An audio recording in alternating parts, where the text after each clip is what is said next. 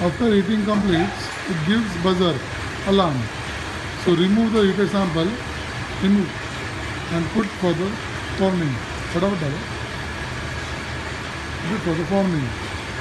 Insert it properly and press the button. It will start forming.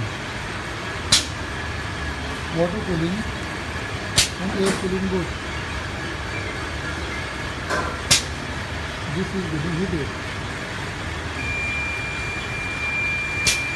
After heating complete, it gives flash. Very compact machine.